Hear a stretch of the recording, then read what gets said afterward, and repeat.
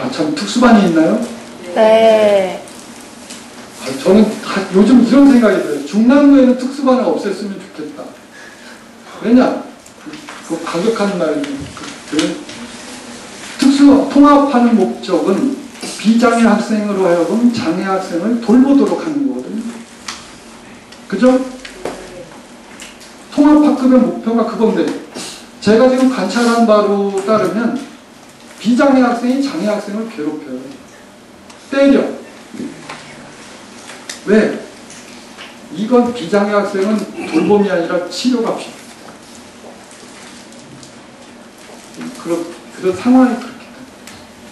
그래서 특수반 선생님 계시면 그 저는 내년에 이렇게 제안을 하려고 들- 그래요. 그러니까 특수반 학생들이 아이들에게 득이 된다. 실제로.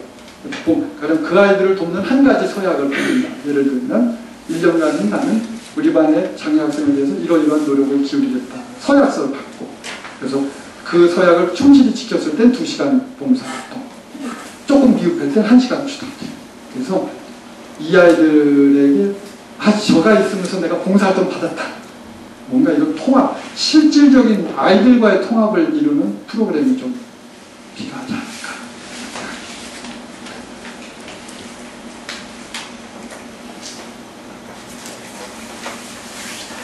지금 애들은 특히 영수가 약한 애들이 자기 예체 능력이 좀 강하죠.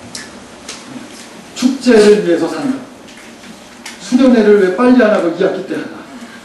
그때 수련회 때 무대 올라가는 재미로 사는 아이들. 그런 애들이 숙제를 잘해내요.